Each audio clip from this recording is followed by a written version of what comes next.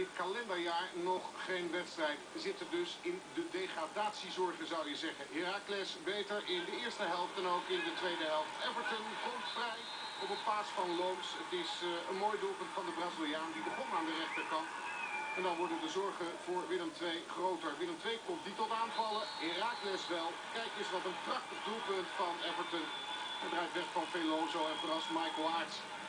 Dan wordt het alleen nog maar erger. Herakles krijgt Lona werken en in de slotfase wordt Van den Berg door Swinkels naar de grond gewerkt. Bosse besluit toch nog een penalty te geven.